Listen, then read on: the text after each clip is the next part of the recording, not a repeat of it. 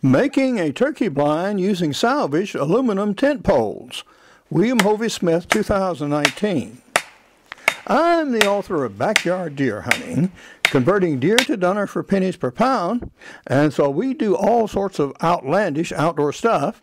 And I'm also the author of a new business book, Create Your Own Job Security, that promotes individual entrepreneurship, that you can have a job that you create anytime you want it to raise money anytime you need it. I have my things laid out again, and as you can see, the cloth is sufficiently long that I can make another blind. And so I'm going to go ahead and use this cloth as well as poles made out of two different materials and two different diameters. I'm going to go a little bit modern on this I'm going to go a little bit modern on this assembly and actually use a dowel that will fit inside the largest piece and also some spray paint to paint the aluminum and steel. So we're going to get started doing this and the first thing I'm going to do is to cut this longest piece of cloth and align things and then we'll paint up the poles.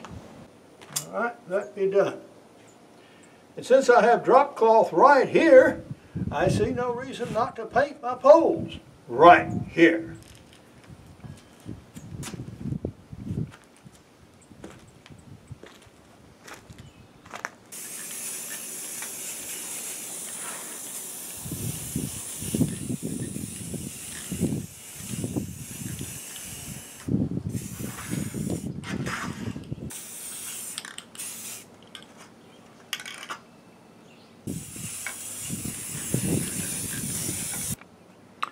As it turned out, we had just about enough to get these poles painted. Uh, some are not absolutely completely painted, but at least the sheen is knocked off, so they're not bright white anymore. Plus, these are going to be on the inside of the blind anyway.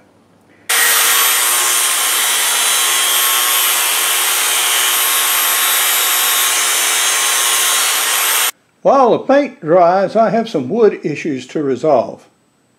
One of which is my drive hammer. This is the instrument I use to actually set the stakes in the soil. And this hole is the same diameter as the top of the thin tubing I'm driving. Since I'm going to be driving aluminum, it's particularly needed. So, what I'm going to do since I have three different sizes now, is to square this surface here, then drill a new hole from this direction for one size pipe and a hole in this direction for another size pipe and so we can have one tool to accomplish all three tasks. So, you know, that's got it about right. And we'll do this surface the same way. From the pieces of wood I've cut before, I'll be able to use these, two for the end pieces and then two full length uh, for the splices between these two poles. I reduce them on the grinder to these just barely into the poles and from this stage I can take them down on the belt sander pretty quick. And now we'll just grind to the proper diameter until we can get one that actually inserts into the pole.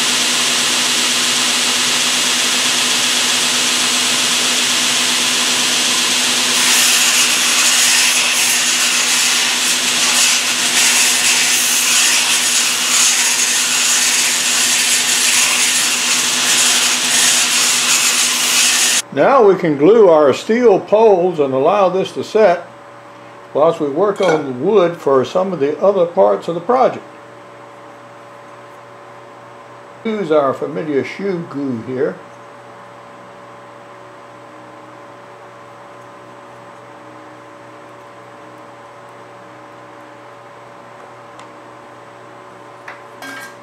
This goes in the top of a pole.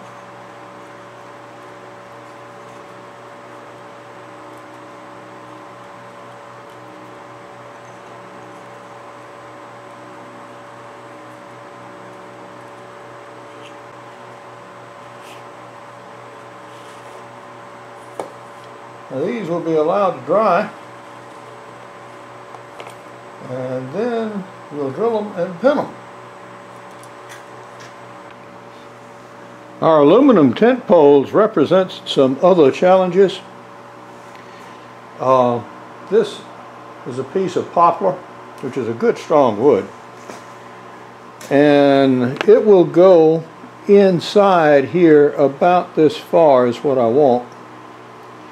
And then we'll need one that will go in here as well as insert in this middle section.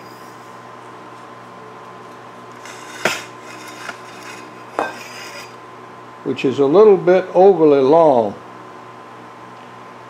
So I'm going to cut perhaps this much away.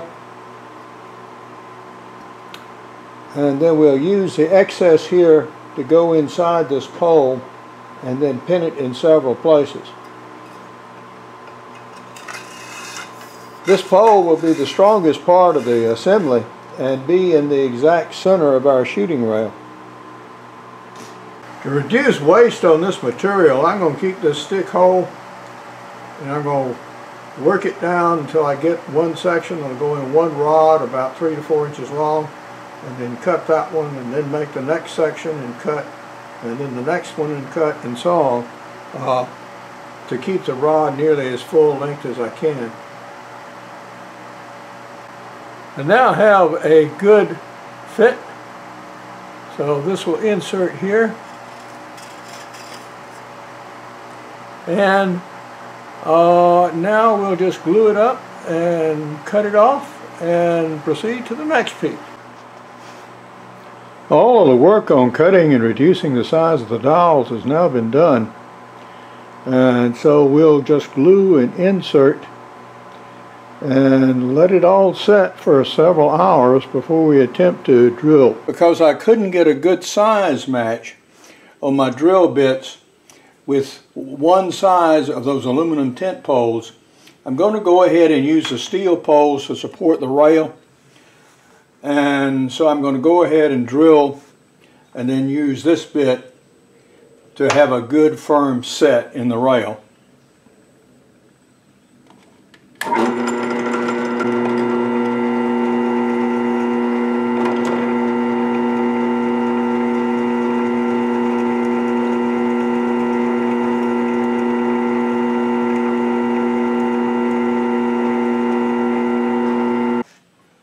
Just used some of my 25 year old wood putty here, which has been revitalized with acetone uh, to fill some small cracks in the salvaged piece of wood.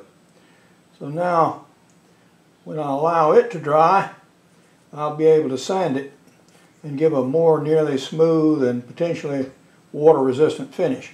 Now we can just trim the wood off of our steel posts. Okay.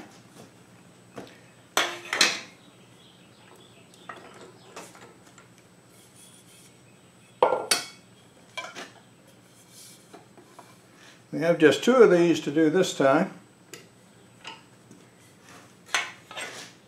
Now we're drilling our steel tubes and this is the tube that will be spliced into another tube like it. And so this way we're able to use these shorter tubes even though they don't have metal to metal fit. We'll drill holes and set this in, then insert the plug in the adjoining tube so we unify the whole construction. We are getting to some of the final stages here. Our drive hammer has now got a hole drilled suitable for this larger size pipe which will go right here in the shooting rail. And I needed to cut a dowel to go in the top here to reinforce it. And I had some American chestnut from a fallen limb, from a live tree, and so I cut a dowel from it. And this, incidentally, is what the tree looked like. And it was so cracked in the piece I used up here that really I couldn't get anything else much bigger from it that was sound except the dowel. So we went ahead and used it for that. And we've cut us another piece of lath out of a 2x4. So we have backing for our cloth. So we have some painting and fitting and putting together and cutting of pins. We're now ready for our painting. And a spar varnish here. Still in good shape. Now one thing hasn't fared so well. The wood putty that we diluted with acetone is actually attacking this plastic container. So I'm going to need to either toss this or find some piece or find a small glass jar uh, to store this material in because it's just not stable in plastic.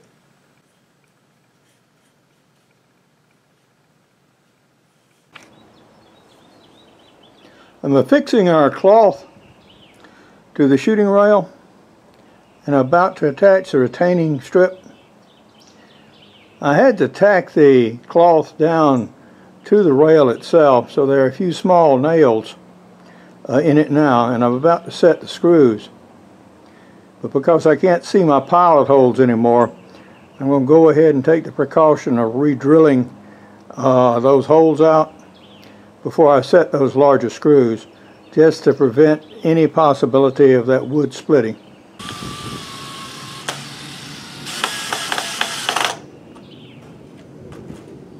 Okay, that's one in there. We'll do the other two exactly the same way.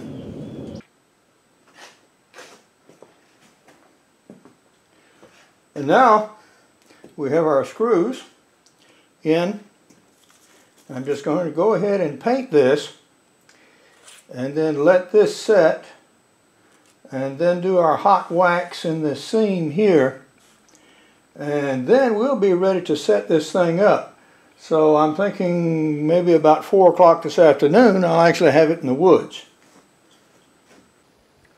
Once again we are in blind installing mode. I've got my blind rolled up here and we have a saw that we'll take with us and we're going to go down and put this blind in another location on this property. I am where I want to be. We have two roads now with vegetation in them but I will come back and mow these roads. They intersect here one coming straight away where the camera is pointed and one left and right passing by a few yards away. And Hound Dog and I are going to be about putting up this blind. Although I'm in the woods and it is turkey season and legal, etc., etc., etc., I'm probably not going to hunt this evening. But just get this blind in and leave and come back and hunt tomorrow. The central stake of the blind here is going to be driven in to where it's looking straight down that road. So go ahead and set it. Drive hammer in place here. I've now put the shooting rail in and you can see it's the central stake is supporting it but I need to drive it down again about another six inches.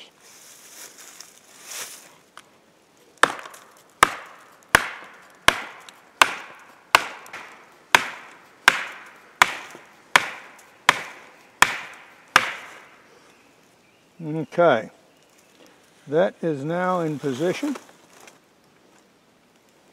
So I can set two more stakes.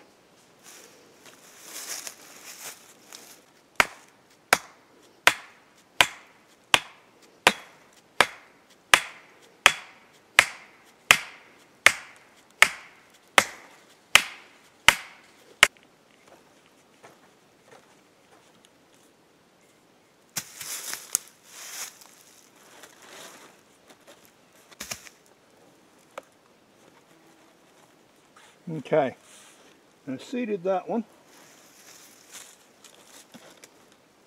And we do the one on the other side. We're putting these things in the ground oh, more or less a foot deep. So, yeah, they aren't going anywhere. The wooden slices in the poles were strong enough to allow the thin steel tubing to be driven into the soil.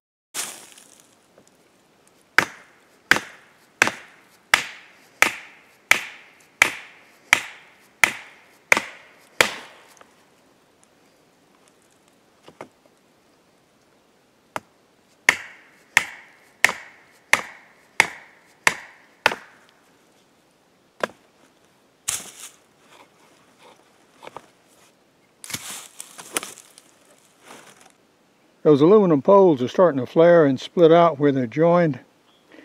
Uh, they're still plenty strong, but I think I'm going to leave those standing above the blind. They're painted black and uh, shouldn't be any great problem anyway. Right now, dark is coming on us. I need to get out of here. And we're going to finish this up tomorrow.